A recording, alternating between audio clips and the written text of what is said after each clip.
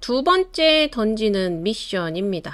이 Sim Lab이라고 하는 공간에서는요. 자, 이렇게 작업 평면 바깥에 있게 되면 사과로 갔을 때 플레이 스페이스 바를 누르면 도형이 떨어집니다.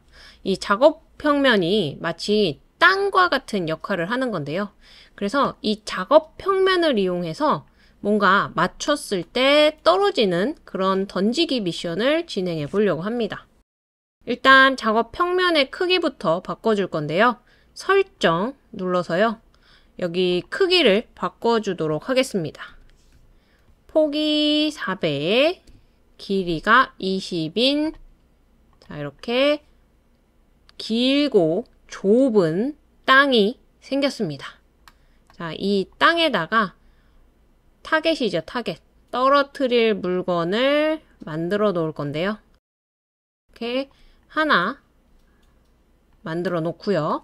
컨트롤 D 누른 다음에 Shift 키 누르고 옆으로 일직선 상에서 이동.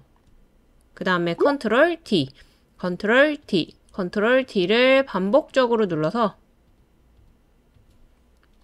총 10개의 도형을 두려고 했는데 이 끝에 거는 떨어지겠네요.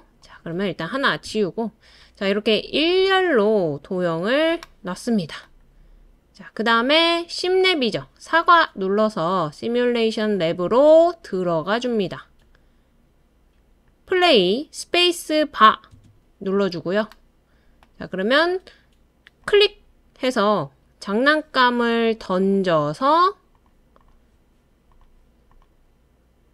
도형을 맞춰야 됩니다. 자, 근데 이제 잘 안 맞는다. 이렇게 싶으면 확대해서 좀 화면을 이동시켜 보세요. 이렇게. 그러면 도형이 포물선으로 떨어지기 때문에 이렇게 맞추기 위해서 얘를 클릭한다기보다는요. 살짝 위에를 클릭해야 도형이 이 던지는 도형도 중력에 의해서 살짝 아래로 떨어지거든요. 그래서 이렇게 어, 일단 연습을 좀 해봤는데 재설정을 누르면 다시 세워지죠. 자 그러면 자 이번에는 명사수로 다시 플레이 눌러서 하나 둘 셋 넷 다섯 여섯 적은 횟수로 던져서 모든 도형을 다 맞춰서 떨어뜨려야겠죠. 화면으로 움직여서 이렇게 팅 여러분은 몇 번 만에 맞춰서 떨어뜨렸나요? 자, 이게 너무 쉬웠다 하는 친구들은요. 자, 도형을 지우고요. 이번에는 점점 이 타겟 맞추는 게 작아지게 만들 겁니다. 컨트롤 D 눌러서 복제해 준 다음에 Shift 키 누르고 옆으로 이동시켜 줍니다.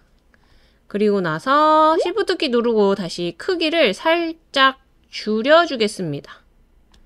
그 상태로 컨트롤 D, 컨트롤 D, 컨트롤 D를 반복적으로 누르면 타겟 도형이 점점 작아지죠. 그러면 얘를 Shift 키 눌러서 좀 도형 사이사이를 이렇게 살짝 좀 띄워주고요.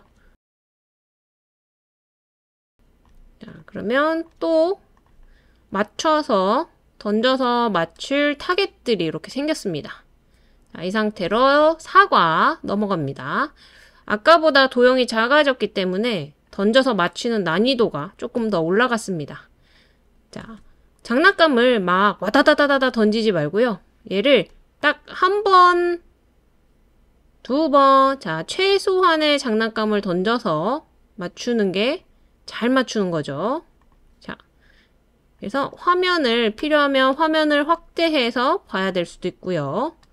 탕, 탕, 오, 잘 맞고 있습니다. 네. 이렇게 다시 하고 싶으면 재설정 누르면 됩니다. 자, 그래서 친구들이랑 바꿔가면서 만들어 놓은 거 과연 나는 몇 번 만에 장난감을 탁 던져서 정확하게 맞출 수 있는지 한번 던지기 미션 만들어서 해보세요.